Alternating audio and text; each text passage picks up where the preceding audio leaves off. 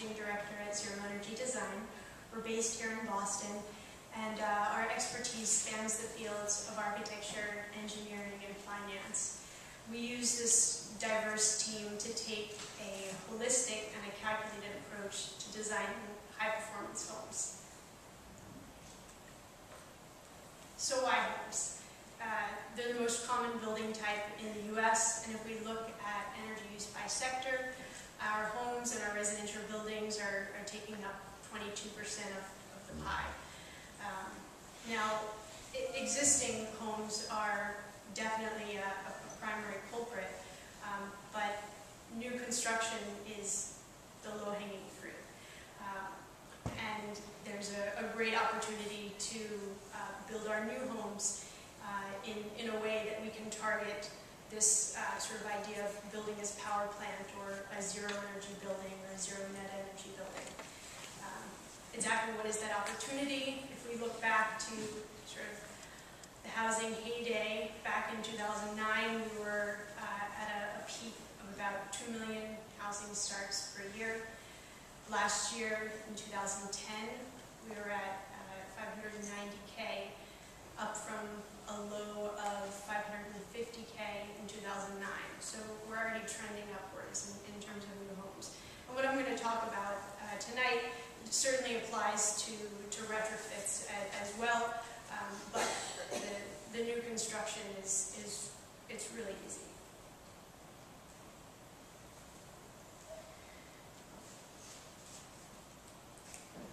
So I'm going to use a 3,000 square foot home here in the Boston climate uh, with about, let's say, 1,500 square foot of basement space built to the building code uh, to use as a demonstration to show the path to zero. Um, and again, that's zero net energy, which is using as much energy as you, excuse me, producing as much energy as you, use over the course of a year.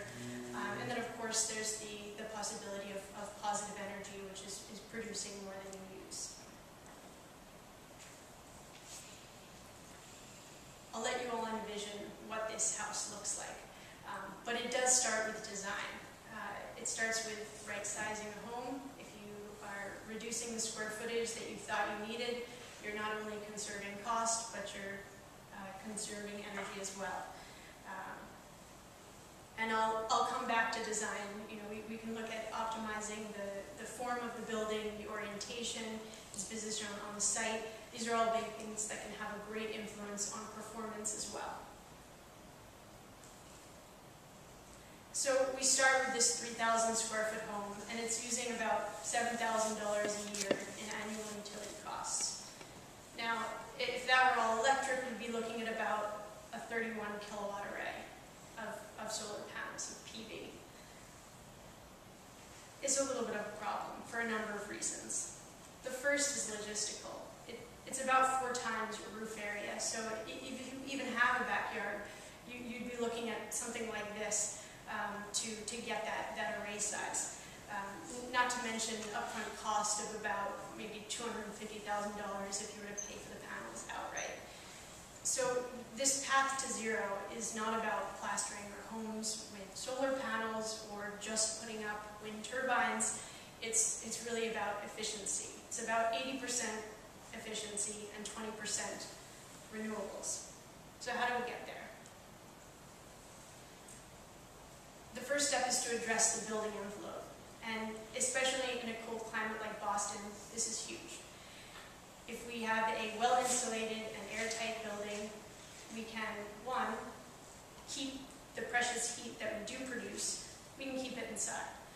And we can use our south-facing windows to capture free heat and keep that heat again inside.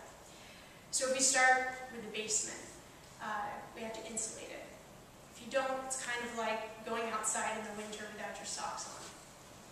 Then we can look at the walls and the roof and double the amount of insulation that's required. And coming back to that airtight construction, uh, we don't want to just lose our heat, uh, lose that heat that we're producing and the heat that we're capturing we want to keep it inside, and so we need to look at an envelope that's, that's airtight. And, you know, we're, we're now, we're, we're at 20 kilowatts. We're still at two and a times available roof area, we're headed in the right direction. So now we can look at the systems. Maybe we install a high-efficiency condensing boiler, perhaps it's a high-efficiency furnace uh, to get, you know, produce our heat efficiently. We're also going to introduce mechanical ventilation. If you think of your home as a body, a leaky home is going to breathe through your elbows, your fingers, your toes. It's, it's out of control. But with an airtight house, we have mechanical ventilation. And it's kind of like breathing through your nose and mouth. You have this one point where you can control what comes in, what goes out, how much, how frequently. It's a great system. So now we've got airtight, we've got good insulation, we've upgraded the windows as well, and we have a system that breathes in a predictable way. So better still, we're, we're at 17 kilowatts. Now we can look at the hot water system, high efficiency hot water heater. You've got a boiler in your house, maybe you're now drawing out that boiler to, to get your super efficient uh, hot water. We can look at lighting and appliances, Energy Star, doing away with your incandescent uh, light bulbs. Again, an, another great step, but we're still not there yet. So now let's take another look at that hot water. Maybe we introduced a solar thermal system. It's actually going to have probably a better payback than, than the PV on the roof. Um, and so, you know, that's getting us closer still. Now, now that green bar really stands out on the graph the uh, appliances and lighting.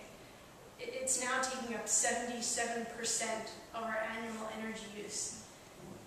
That, that's crazy. So, now one thing this is assuming thus far is typical American use of a house. You can read wasteful. So, the, there isn't really a, um, a zero energy home, but I think that there is a zero energy user. And so we're going to say that with operating the house efficiently and maybe making even better choices about our lighting and appliances, not going to Energy Star, but going a little bit better, um, we can actually reduce that down to 50%. So now we've gotten to a place that's reasonable. We've got a 7 kilowatt array on the roof. It's only taking up 90% of the, the roof area, which is great because I already stuck a solar thermal panel up there for the hot water and we have something that's, that's realistic. Now, I want to come back to design because when, when we look at the performance of, of a home insulated to, to this level and, and performing at this level, we can see upwards of a 40 to 60% difference in heat demand when we look at design. So if we take a house that's already been optimized for you know, maximizing the, the south-facing glazing, minimizing east, west, and north. We see a 40 to 60% increase when we just spin that house around on the site to, to go the wrong way. And uh, that's, again, it's, it's sort of where you need to start is with the design, and, and it's what you need to come back to as well. So even if you don't put those renewables on, you're still at a 77% reduction in uh, annual energy use, which is a huge step in the right direction. And you can go back to thinking about fun things like what is your house?